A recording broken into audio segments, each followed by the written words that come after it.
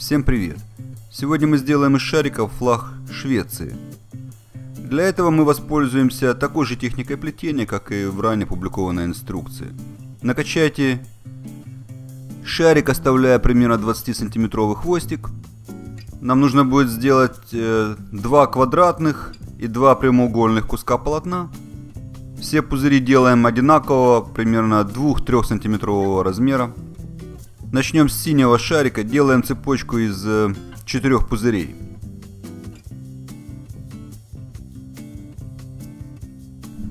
Замыкаем оба конца цепочки из первых четырех пузырей в один замок. Вот таким образом мы сделали маленький квадрат. Теперь нам нужно сделать большего размера квадрат, работая вокруг этого маленького квадратика. Сделайте цепочку из следующих трех пузырей. И затем мы замыкаем оба конца цепочки из последних четырех пузырей в один замок. Для этого нам нужно продеть остаток шарика сквозь петлю из первых четырех пузырей. Вот мы сделали первый угол большего размера квадрата. Теперь делаем цепочку из следующих трех пузырей. Замыкаем оба конца цепочки из последних восьми пузырей в один замок.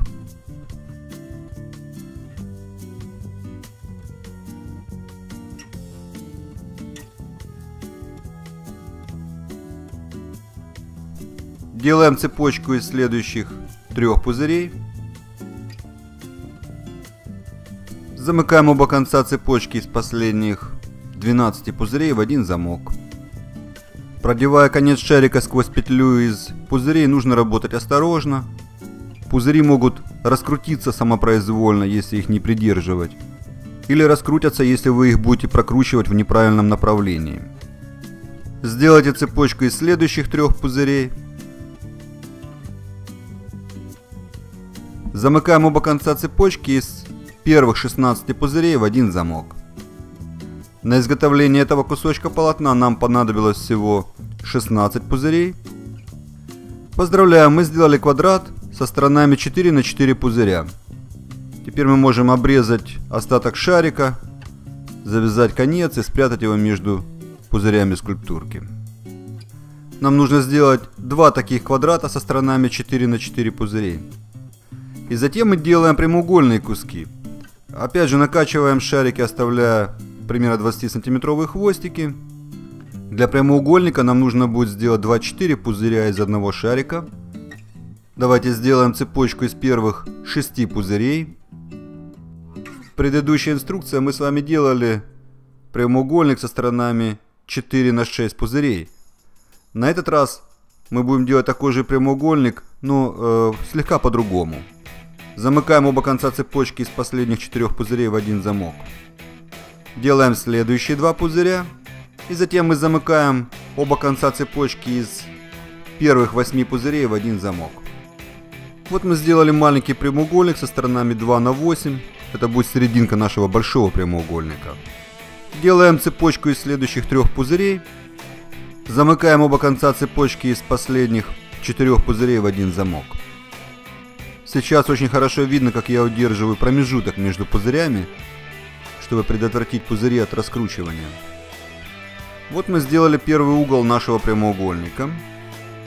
Делаем цепочку из следующих двух пузырей. Мы работаем вокруг маленького центрального прямоугольника. Замыкаем свободный конец последнего пузыря между, предположим, третьим и четвертым пузырями или может между пятым и шестым пузырями. В результате получится одинаковая скульптурка в любом случае. Мы сделали серединку длинной стороны большого прямоугольника. Делаем цепочку из следующих трех пузырей. И затем мы замыкаем свободный конец последнего пузыря между двумя ближайшими пузырями маленького прямоугольника с короткой стороны. Делаем цепочку из следующих трех пузырей и замыкаем свободный конец последнего пузыря между двумя ближайшими пузырями маленького прямоугольника. Делаем цепочку из следующих двух пузырей. Замыкаем свободный конец последнего пузыря между следующими двумя пузырями маленького прямоугольника в центре. Теперь мы делаем цепочку из следующих трех пузырей. И теперь мы замыкаем оба конца цепочки из первых 24 пузырей в один замок. Поздравляю, мы сделали прямоугольник со сторонами 4 на 6 пузырей. Аккуратно обрежьте остаток шарика, завяжите конец и спрячьте его между пузырями скульптурки. Перед этим мы с вами сделали квадрат со сторонами 4 на 4. Всего нам нужно сделать два одинаковых квадрата и два одинаковых прямоугольника. Сделанные два квадрата и два прямоугольника мы соединим между собой с помощью двух желтых шариков по аналогии, как мы делали в предыдущей инструкции. Накачайте два желтых шарика, оставляя примерно 17 сантиметровые хвостики. Свяжите сопла обоих шариков в один узел. Напоминаю, мы делаем флаг Швеции. Из желтых шариков нам нужно сделать крестообразную фигуру и одновременно присоединить квадраты и прямоугольники к этому желтому кресту вот таким вот образом. Давайте начнем присоединять квадраты, а затем уже присоединим прямоугольники. Замкните свободный конец первого желтого пузыря между двумя синими пузырями на углу квадрата. Работать всегда быстрее и удобнее с большего размера пузырями. Здесь нам приходится продевать остатки шариков сквозь петлю маленьких пузырей. Занятие довольно-таки кропотливое. Теперь мы работаем второй шарик точно таким же образом по аналогии с первым. Делаем первый пузырь второго желтого шарика и замыкаем его между двумя синими пузырями на углу квадрата. Располагаем квадраты друг напротив друга, как бы в зеркальном отображении, вот таким вот образом. Теперь мы делаем вторые желтые пузыри и замыкаем свободные концы вторых пузырей в один замок. Продолжаем работать точно таким же образом до следующего угла квадратов.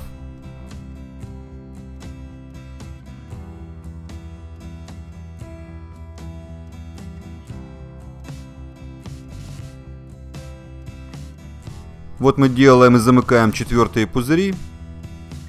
Работаем вокруг угла, делаем пятый, делаем шестой желтый пузырь. Замыкаем свободный конец шестого желтого пузыря между двумя ближайшими э, синими пузырями на углу квадрата. Аналогичным образом мы работаем со вторым желтым шариком вокруг угла э, другого квадрата.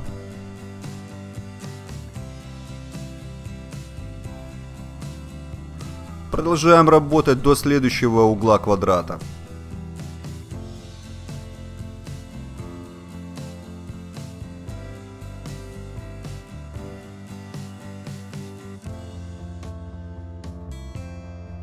Теперь мы будем делать 9 и 10 желтые пузыри. И теперь нам нужно замкнуть свободный конец 10 желтого пузыря между двумя синими пузырями на углу короткой стороны прямоугольника. Получается, что мы присоединяем короткую сторону прямоугольника к стороне квадрата. Делаем 11 желтый пузырь. Замыкаем оба конца цепочки из последних четырех желтых пузырей в один замок. Продолжаем работать таким же образом до следующего угла прямоугольника. А там, после того, как мы сделали 13 желтый пузырь и замкнули оба конца цепочки из последних 8 желтых пузырей, нам нужно будет воспользоваться вторым желтым шариком, чтобы прикрепить второй прямоугольник. Делаем это аналогичным образом, как мы крепили первый прямоугольник –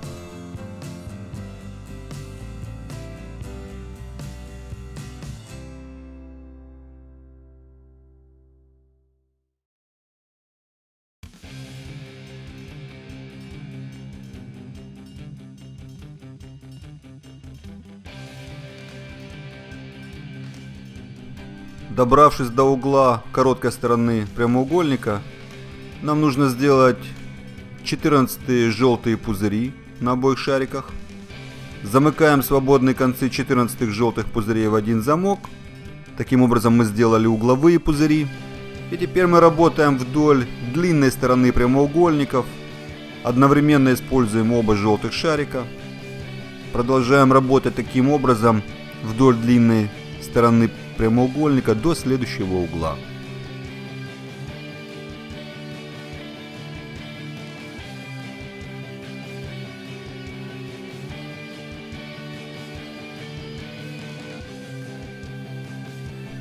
Добравшись до угла скульптурки, нам останется обрезать остатки шариков, завязать концы в один узел, подровнять, если необходимо, ножницами.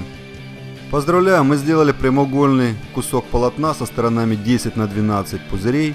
В данном примере мы сделали флаг Швеции. На моем веб-сайте feedo.com вы можете найти примеры других флагов. Веселых вам выкрутасов!